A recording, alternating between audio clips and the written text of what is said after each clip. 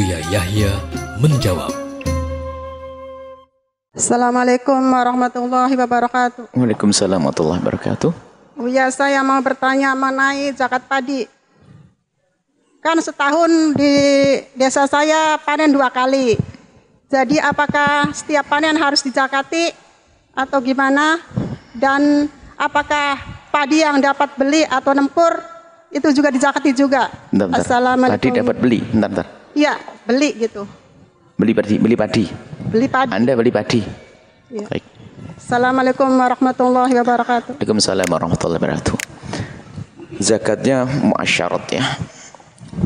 Zakat tanaman. Zakatnya padi adalah jika panennya dua kali atau tiga kali di dalam satu tahun kalau panen pertama sudah sampai nisabnya. Nisabnya kemarin kita hitung untuk padi kalau masih dalam bentuk gabah belum jadi beras kurang lebihnya 1,2 atau 1,1 kurang lebihnya. 5 wasak itu 1,1 kalau dalam bentuk berasnya 7, berapa begitu.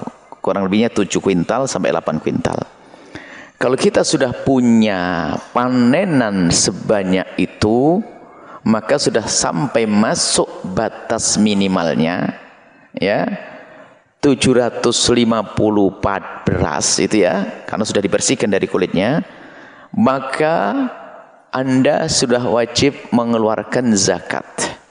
Tinggal dilihat jika padinya adalah dengan siraman air hujan Anda tidak usah sibuk mencari air maka zakatnya adalah al-usru sepersepuluh tapi kalau anda sibuk mengairinya dengan desel atau yang lainnya, membayar irigasi tapi membayar, maka nisful usri 5%. Baik. Tapi jika ternyata panenan anda yang pertama itu kok belum mencapai nisab, tapi anda sadar tahu tahun apa, nanti ada panenan kedua. Maka harus anda hitung antara panenan dan panenan kedua ini tidak boleh keluar tahun. Jadi dalam satu tahun ini dijadikan satu. Misalnya panenan kedua, panen pertama hanya keluar dua kintal.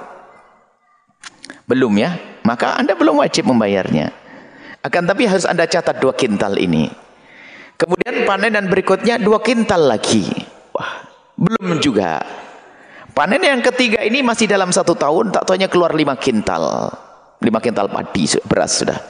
Jadi lima, dua, dua, sembilan. Sembilan dalam bentuk bersih jadi berasnya, maka saat itu anda wajib mengeluarkan zakat, semuanya wajib zakati.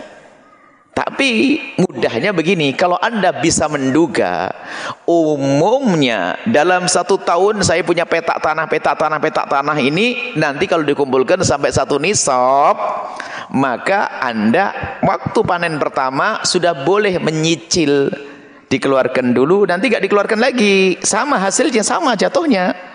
Sama. Ini dikeluarkan 5% panenan berikutnya 5% panenan berikutnya 5% nanti habis. Nggak ada diulang lagi. Jadi bisa saja begini caranya. Anda jangan jual kumpulkan semuanya dulu. Kalau sampai tiga panenan ini sampai satu nisab anda wajib zakat tapi anda karena buru-buru menjual, jual saja tapi hitung nanti. Kalau ternyata pada akhirnya nanti digabungkan menjadi cukup satu nisab, maka anda wajib keluarkan semuanya zakatnya. Misalnya dua, dua, lima kintal, lima kintal, lima kintal. Maka lima kintal pertama belum sampai nisab, ya kan? Lima kintal berikutnya, anggap saja masih bentuk padinya, belum nisab. Lima kintal berikutnya sudah 1,5 ton. Berarti wajib keluar zakat. Dikeluarkan lima, 1,5 dikeluarkan 10 persen kalau ternyata dari curah hujan atau 5% kalau memang Anda yang mendatangkan air. Jadi seperti itu. Jadi dikumpulkan. Jadi dikumpulkan kalau memang itu dalam satu tahun. Misalnya anggap saja bulan pertama panen. Bulan kedua bulan tanggal bulan 7. Satu ke 7.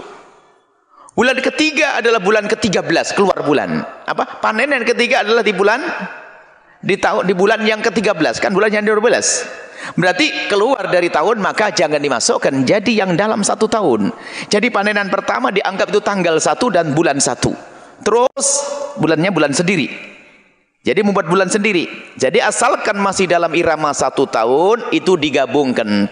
Seperti halnya begini ibu yang soleha, kita kan punya tanah satu hektar. Tak panennya apa hari ini panen begini, besoknya ini kayak begitu. Cuman bedanya bukan hari bulan, ya kan? Dikumpulkan jadi satu, asalkan masih dalam irama satu tahun. Kalau keluar dari tahunnya nggak masuk. Misalnya tahun ini adalah bulan Muharram, eh tak tahu yang panenan berikutnya adalah sofar tahun berikutnya nggak dimasukkan. Berarti sudah di luar tahun. Kalau luar tahun tidak bisa dihitung. Kemudian jika anda beli padi biarpun bertonton nggak wajib karena anda beli ini panenan hasil bumi. Kalau beli padi nggak nggak wajib zakat. Jual padi pun nggak wajib zakat. Kecuali anda jual beli padi anda dagang padi. Kalau jual, beli padi, Anda beli 15 ton. Enggak wajib zakat. Atau Anda punya padi sudah Anda zakati, Anda timbun, akhirnya pengen Anda jual 15 ton juga. Enggak wajib zakat. Sudah sekali zakat. Enggak ada zakat dua kali dalam satu harta yang sama. Walim itu. Islam itu indah. Kalau Anda sudah zakati waktu panen, maka ketahuilah, maka padi itu Anda timbun pun tidak wajib dizakati. Wallahu a'lam bissawab.